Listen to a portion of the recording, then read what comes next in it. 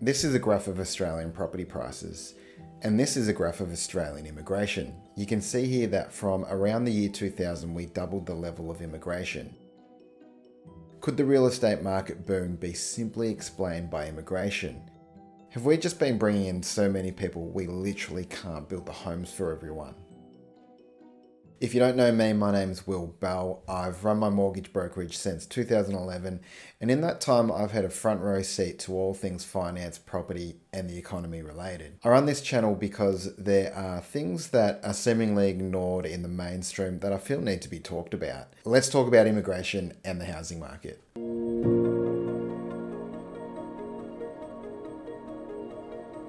Before we get to 2000, if we go back a bit and we look at the population spike that we can see here from about 1950, Australia really started ramping up the immigration. This was the post World War II migration boom. Interestingly, property prices start spiking at around the same time. Fast forward to the year 2000 now, and you can see that immigration starts getting seriously ramped up. I like these two graphs because for me there's enough evidence to say that there is a correlation between immigration and house prices. The difference between the 50s was that there was an obvious reason for the immigration policy. The millennium was a time in our history that also gave birth to a couple of other crucial factors to Australia's current housing horrors, and I'm going to touch on that right now.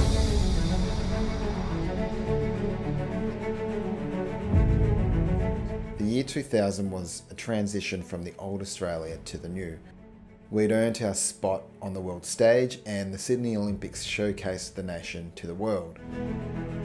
The millennium was Australia's coming of age, and as such, we needed to reform the tax system for the new age. Firstly, we halved the capital gains tax. Initially, this was meant to be a temporary policy, but like so many temporary government policies, it has managed to survive for the last 24 years.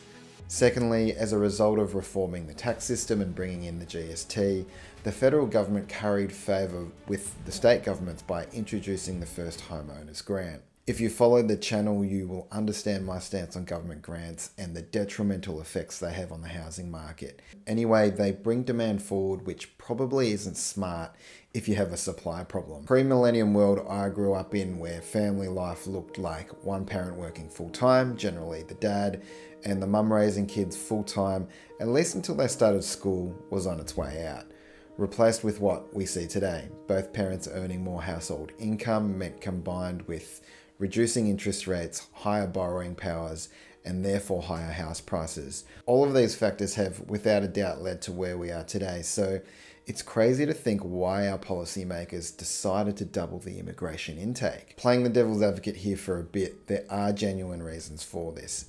Our aging population is no secret. It's happening all across the West as the boomer generation dies out.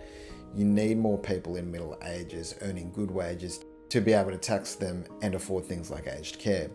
Additionally, being a good world player and giving students access to our education system was in the interest of the nation. Little tangent here, what's strange about education is that most education can be done online these days, so it doesn't matter where you are so long as you have the internet. This would drive down the cost of education, which is good for everyone, isn't it? Not only that, it would reduce demand on our housing needs, which is the number one issue right now. If you disagree on that statement, please comment below on what you think is the number one issue.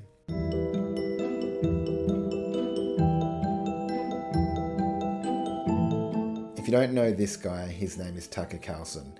Mass media hate him. He came here a little while ago, and this is what he had to say about Australia's housing market. That sounds like a crisis. Why is it happening? Well, one of the reasons it's happening is a principle we call supply and demand. And when there's a greater demand for something than there is a supply, the price rises. And that is purely a matter of population. If you have more people than you have houses, guess what happens to housing prices? They rise. This is the most obvious principle in nature and real estate. And so, if I'm running a country, one of my top concerns is making sure that young people, people in their, say, late 20s, early 30s, can afford a house. Because my main goal is to create households and a new generation of Australians or Americans or Kiwis or whatever. Here's the thing if an outsider can clearly articulate the point on population growth and supply and demand, then how do our policymakers not see it? I'm going to give you my thoughts on why. If you have a different opinion, again, please chuck it in the comments because I don't have a monopoly on what's right or wrong. In the world of business, quite often the main incentive for the people running the business is to maximize the value of the business, which is not necessarily the same as making the business sustainable and profitable.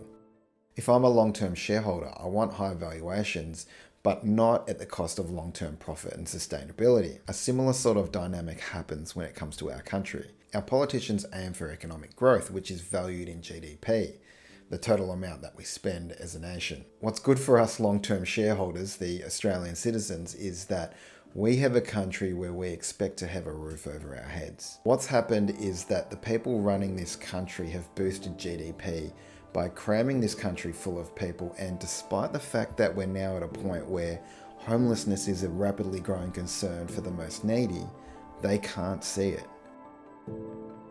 Australia's housing crisis, rental crisis, cost of living crisis, mental health crisis, violence against women, a national crisis. What I call the everything crisis is going to get worse. It's going to continue until the people creating these policies are gone. And so, my suggestion to you is that you have to make your own plans. Here's some things my clients have been considering in our conversations. Immigrating interstate or from the city to the country. I'm in Melbourne and I've definitely had clients do this. There are undoubtedly a large number of people feeling the crush down here in Melbourne.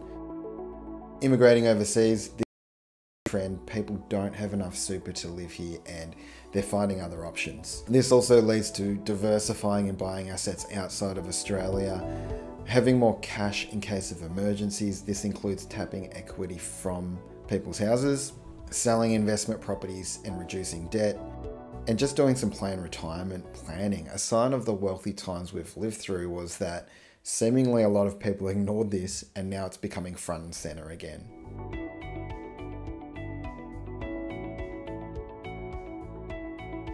The main thing that I can do is to help people get rid of their home loans. For most people, there are actually a few basic strategies that can get them an unbelievably large amount ahead. I'm talking things like pay a 30 year home loan off in 15 years.